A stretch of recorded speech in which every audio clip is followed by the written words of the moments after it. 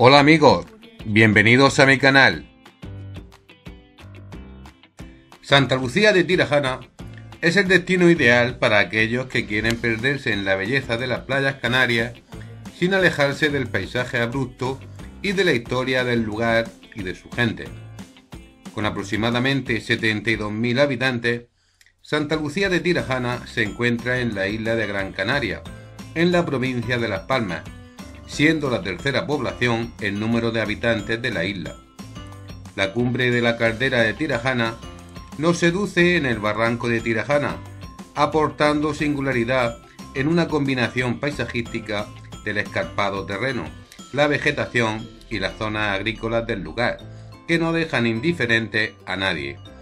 El Parque Natural de Pilancones está constituido como un espacio protegido desde 1987 y es una marcada zona de sensibilidad ecológica, formando parte del programa especial de protección de las aves.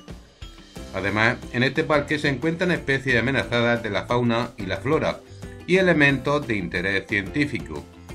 En su masa forestal predomina el pino canario, y para los amantes del senderismo, este parque ofrece infinidad de rutas.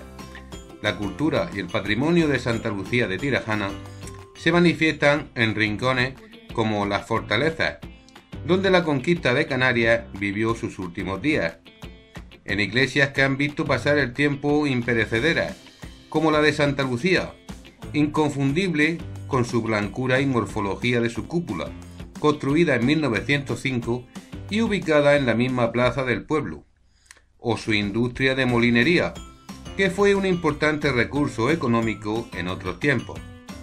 El barranco de Tirajana está constituido por una amplia caldera limitada por abruptos testeros rocosos. La playa de Pozo Izquierdo está considerada como una de las playas más importantes de Gran Canaria para la práctica del windsurfing y de hecho se considera el segundo mejor lugar del mundo para practicar este deporte, después de Hawái, por lo que es de visita obligada para los amantes del windsurfing. Las salinas de Tenerife constituyen un espacio privilegiado desde el punto de vista histórico, patrimonial y medioambiental.